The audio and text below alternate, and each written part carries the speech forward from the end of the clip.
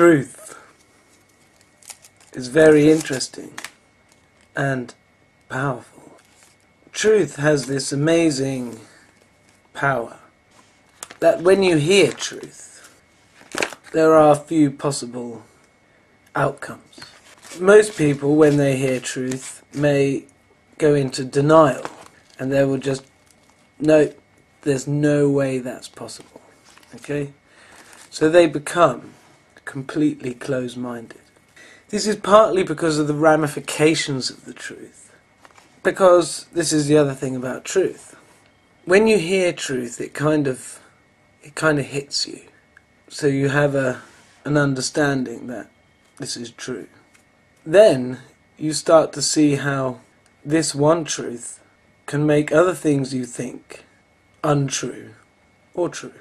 But it has ramifications through your understanding. So this is why many people will just flatly deny it, but those people with an open mind can take on that new truth and start to see where they've been in error. The most destructive force in the universe is the false belief that we have about ourselves and what we are. Because if we knew this, the other truths would come. So what we are is a physical body, spiritual body within that physical body, but then we have a soul, and the soul is dominant to all the other things. And our soul was created by God, and we're all unique. And God is our mother and father in the universe, and we are eternal beings. yeah, right? So this little life we have is this much of what we're going to live. And if we got the truth, and we got the correct beliefs, everything else would fall into place. I've been learning about the will, our will. You know, I know God is good. I've known that for a long time. And so I've wanted to be good. Yeah? But, you know, maybe sometimes I want to be bad. And if I'm honest with myself, sometimes I do want to be bad. So, God prefer it if I did what I want, because that's my will. So if I decide to do something bad and something bad happens as a result of it, and I I get my recompense or whatever, then I learn something. But while I think, oh no, I shouldn't do that because it's not good, then I'm not doing what I want to do. And God won't be very happy because He wants me to do what I want to do, right? And it's only by doing what we want to do that we learn our errors in our soul, which were originally not really our fault, but you know, we need to learn errors, blah blah blah, so we know what's right and wrong. But if we're just pretending to be good, then we're not gonna learn the lessons. And you know, God must have known this. And this is my sort of things I ponder at the moment is how much you know, how much of the way the world has gone did God plan? And did God know was going to happen? And if we understand that God is like, you know, you could say infinitely, I'm not sure about that, but let's say massively greater than all of us, and, um, you know, infinitely wise or whatever that of course you would know that things are going to be just like they are. But that's what I'm thinking about lately is like, you know, what's his plan? Our will, our free will is the is the greatest thing we've got. We've got this physical life here for about a hundred odd years, and then we've got life in the spirit world for however many thousand years, but you know, that's so long in the future. I mean, you know, now this we got to live for now, haven't we? Okay, you know, it's good to know the truth, but you can't just sort of think, well, I'll plan for a few hundred thousand years down the line, because you just don't have a clue what's going to be down the line, you know. And I got this life, and I'm going to live this life, and I'm going to do do what I want. I'm going to act on my will. I'm going to say to someone what I think what I feel like thinking. You know, and every now and then, in days, I get this feeling like I can do anything I want. And it's, I feel so good when you remember that. I will be thinking about the thoughts that come into my head and and thinking about the fact that God is all feeling and thinking, well, if God's an all feeling soul, right, and our souls are all feeling, he can't hear me play guitar then. All he's gonna, he, she is gonna feel is the feelings of my soul while I'm playing guitar and singing. But, you know, I was thinking, surely, you know, God, right? Should be able to do anything he wants, you know, and if, yeah, right, why, why the heck would he want to listen to me singing, right? I'm sure he's heard much better singing before. So, you know, he gets what's important. But then I did think, well, if animals don't have souls, then in a sense, they must be the eyes and ears of God and the fingers of God. See, you start thinking of yourself as an eternal being. Right, you're either going to think of yourself as an eternal being or a finite being. Whether that's a hundred years or 10,000 years, it's still going to have, you know, if you think of yourself as a finite being, 100 years or 10,000 years, there's still going to be that end, right? The end of existence. Now, I don't know any human being who can actually. I know some people say, yeah, it'll go black and I'll die. Yeah, no, that's it. That'll be it. You know, and they. Fine, you know, you live your life like that. That's not a problem. That's fine. That's probably a good way to live in a way. And you find out that it, you're wrong and it carries on. But um, there's no way my soul can. Uh, accept that ceasing to exist. So then you must say, well, we're going to be eternal. And that. that's almost as hard to swallow, isn't it? Forever. That's tough. I mean, that, that's mind blowing. And yeah, our, our spiritual mind can barely cope with that. But our soul can, so that's okay. The feeling of it the feeling of living forever is, is fine by me. You live in the now anyway, don't you? But, you know, it's still quite a heavy thing. Um, but so, we've got this short life. It'd be good to be live perfect, but most of us aren't. Well, probably all of us aren't. So don't, don't worry about it too much. But, uh, yeah, start living, living how you want to live, do what you want to do, achieve what you want to achieve in the short time you've got here. We don't know how long, do we? We don't know when we when when it might end, you know, whether we live into old age or what. Since my last video about 8 hours later I decided to fly to America. so I'm just going to get on with this. Sunday, October 19th, 2014, 10:40 a.m sitting with a warm bum on my back, feeling a bit of a moron for being so rash, but faith holding out for getting the ne- on next flight. Realized I have had disagreements with God in my younger age. This one is about me wanting to be my way, my way, even when it breaks one of God's laws. It should be God's way to get in the right tracks and progress. Feel the emotions about all that happens as an error inside yourself. I must learn to play by the rules, law of attraction, love, truth, humility, reap what you sow. Whatever happens, I enjoy the interactions with the people here, mostly the staff. It's reminding me of my dream, the funny one. I love you, I love you, I love you. That was like something at the end of my dream. October 19th, 2014, 11 pm, America time. I'm through customs and finally here. When we're in our mother's wombs, we are with God, the mother and the father of our soul. We can feel emotions from all around.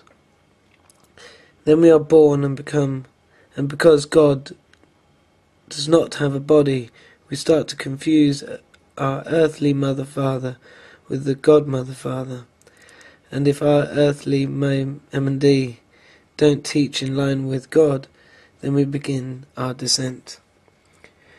We start to argue with God like wanting our own way all the time, and by the time we are three, we have left God and we descend th- further.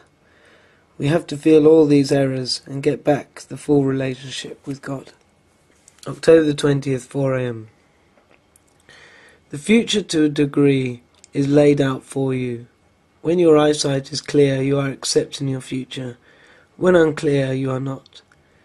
This info comes from opposite gender God. God that plays with you is same gender God, so you'll be more familiar with him, her. For me, male, Mother God does past and future, Father God the now, Mother God nurture, Father God provider. By the way, I'm just, you know, I'm not actually saying this is absolutely um, definite, but it's the feeling I get, and I need to feel more about it to know more fully. When we trust in our godparents, all will be revealed to us by the events that come our way. We will be looked after and guided. Look to the skies for guidance. Walk the path of least resistance, for all is for you. Patience is often required, and faith. Our fall from grace. We are in the womb knowing our mother and father God. We are aware of our soul's personality. We then start to confuse God with our earthly parents, the mother first, as we are inside our mother. The battle begins. When we are born and start to see, hear, and touch, and these things conflict with what we feel in our soul, we start to prefer the earthly things to the things of the soul. Our mother and father God do what they can to help us, but our earthly mother and father become dominant, and after two or three years of this, mother and father God get rejected by our own free will. We come away from sixth, seventh sphere living because it becomes too painful. Now we're still guided by them, but from a distance, and still there is no running away from your own soul. So all events in your life now will be designed to get you to return to God. An inevitable future no matter how long it takes and whether you manage it while you're alive or after you pass. But the longer it takes, the more uncomfortable it will be. Adolescence is another common period when we blame our parents, rightly, for their error, but generally we end up conforming to that way, and we will repeat the error when we have children. After that, we get further and further from God, and it starts to show in our physical bodies. What makes you feel good? You could argue that smoking a cigarette makes you feel good if you are a smoker, but it's the feeling afterwards that is longer lasting, and usually for me anyway, after I've chosen to smoke, I don't feel good. When I choose not to smoke, not only do I feel better, but the craving for a smoke lessens. As I have used cannabis to temporarily get close to God, I know both these feelings well. yeah, because when I'm coming down from the cannabis, then I get the feeling that I'm getting away from God, which is, is very unpleasant. It has, though, helped me to understand what and who God is, and strengthened my resolve to day by day, through truth, love, and humility, progress on the path to God. God's reward to us for making the right choices is to make us feel good, and that is the answer. All temptations of the flesh are just for the flesh. Where we need to feel good is in our soul, as this will radiate through our bodies, giving healing, strength, and energy. Not to mention passion and desire and creativity. Get to know yourself. Why do you do what you do, and why you think what you think? Once your belief systems are in line with the truth, you'll naturally progress on the right path, making you better and better. You'll then enjoy the experience of interacting with others more and more. Eventually, then you'll be able to interact with God rather than constantly guessing at his her ways. The soul has no tongue, it is all feeling. The tongue is the taster, the sampler, the wayfinder. The physical body is the soul's tongue in the physical world. Both good and evil can be consumed. The spiritual body is in the soul's is the soul's tongue in the spirit world. No evil can be consumed. Question mark, question mark. Now imagine imagine you're God. Okay? It's not sin just to sort of speculate upon if you were a God and you'd created these seven billion souls uh, that were going to be existing for eternity, and uh, you'd created a universe and and a nice planet for them to live on. But you knew that they needed to learn some lessons in order to live for eternity. And you create the first two humans in a sixth sphere state, 15 foot tall, awesome, beautiful creatures, and uh, needing only water to live on. Okay, and you put them on the earth. Now, God is an all loving God. And He isn't going to say to the first two humans, You're not allowed to do this. They have free will. We have been given free will. Now, so first of all, we come to the Bible. I'm using this, the New English Bible, it's very good. And we start here with man's disobedience. The serpent was more crafty than any wild creature that the Lord God had made. He said to the woman, Is it true that God has forbidden you to eat from any tree in the garden? The woman answered the serpent, We may eat the fruit from any tree in the garden, except for the tree in the middle of the garden. God has forbidden us to eat or touch the fruit of that. If we do, we shall die. That is a lie. The serpent said, Of course you will not die. That is true. God knows that as soon as you eat it, your eyes will be opened and you will be like gods. Well, that's not quite true either. But your eyes will be opened, knowing both good and evil. Well, that's true. Now, wouldn't God want us to know about good and evil? He, he's created us, He wants us to learn, okay? So, in order to learn, we need to know what's right and wrong. So, why would He ever forbid that? The truth is that we are allowed to do what we want, and the truth is that this Bible has got lies in it right from the beginning. Adam and Eve had a child, okay?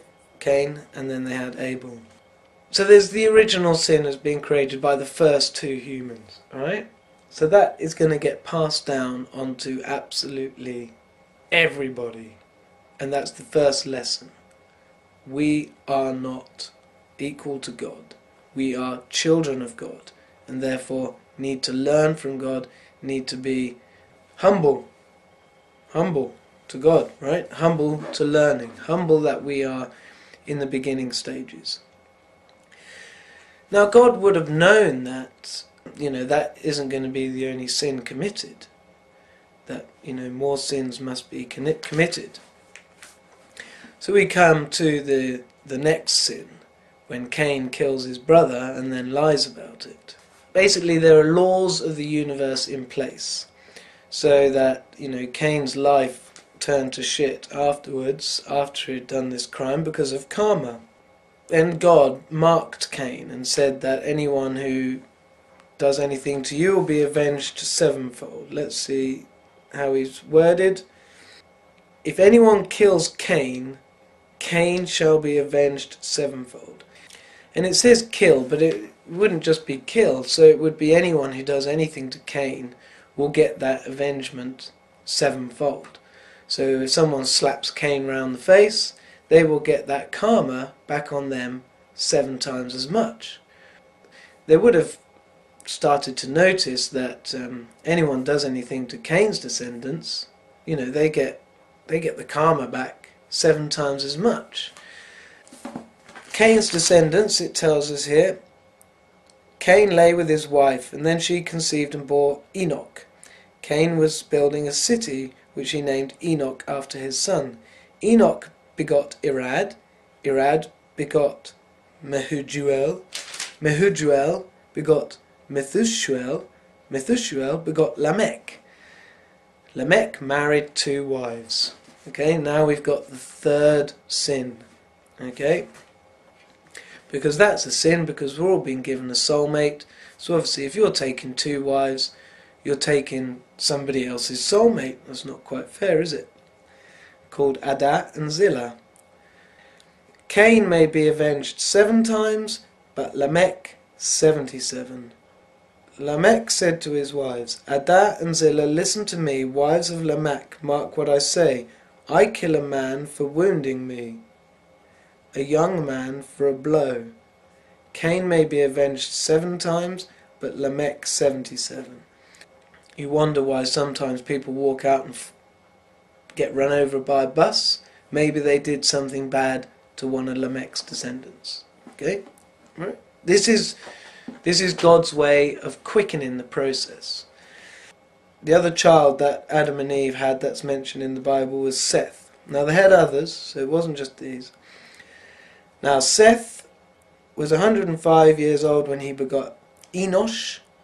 After the birth of Enosh, he lived 807 years. He had other sons and daughters. He lived 912 years and then he died. Enosh was 90 years old when he begot Canaan. After the birth of Canaan, Canaan begot Mahalalel. And then after Mahalalel, there was Jared. And after that, there was Enoch, another Enoch. Now, Enoch's quite special. Enoch was 65 years old when he begot Meth- Methuselah. After the birth of Methuselah, Enoch walked with God for 300 years and had other sons and daughters. He lived 365 years. That's the shortest so far. Adam's still alive at this point. Having walked with God, Enoch was seen no more because God had taken him away. So, what do you think God and Enoch talked about for 300 years to then eventually, must have been Enoch's will, that God take him away? Well, it seems to me that it might be that, you know, he's looking over at Cain's line and he's saying, well, you know, this is making them pretty powerful. You know, we do anything to Cain's line and we get really bad karma. You know, we have to be nice to them in a sense. Well, we're nice to them and maybe they get 77 times the, the greater, right? So think about that. And, you know, maybe he wasn't too happy about that you know, maybe thought that was unfair. I can only speculate. I believe there is a book of Enoch. I'd like to hear it. Uh, that'd be my next thing. But let's just say, for speculation, Enoch wasn't quite happy with this arrangement, and after all that time spent with God, actually, you know, I'd just rather go and live in the spirit world. Methuselah was 187 when he begot Lamech, so this is a different Lamech not Lamech in Cain's line, this is Lamech in Seth's line. After the birth of Lamech, he lived for 782 years and had other sons and daughters. He lived 969 years. So you see, they're living quite long. Lamech was 182 years when he begot a son. He named him Noah, saying, This boy will bring us relief from our work and from the hard labour that has come upon us because of the Lord's curse upon the ground. So Enoch goes, Enoch's son Methuselah. He's, you know, he's obviously aware of Enoch's issues, um, but you know, he has a slightly different take on it. So he gives birth to Lamech, and maybe Lamech knows about this, and obviously when he gives birth to Noah and all this stuff about Noah will bring us relief. So this is maybe their plan to curse, stroke, reward their own line, and hoping perhaps that their curse, as Cain's was 7, Lamech's was 77, they want theirs to be 777, right? So that everybody has to treat them really well. Now, Lamech lived 777 years and then he died. Right? So it doesn't say how old he died. Noah was 500 years old when he got Shem, Ham, and Japheth. So it could be that Lamech said to Noah, Look, when I'm 777, you kill me. And then we'll get, hopefully, get this curse of 777. So let's just assume that it didn't work. this is man's plan here to make uh, Noah's line or or Methuselah, you know, that line of Seth apart from Cain, to make them renowned, to make them big. Because, you know, this that was that's the stuff that was going on in the beginning of the world. And it's still still today. The the full truth hasn't been uncovered. It will be uncovered. It's God's plan that it all should be, and it will be in all good time.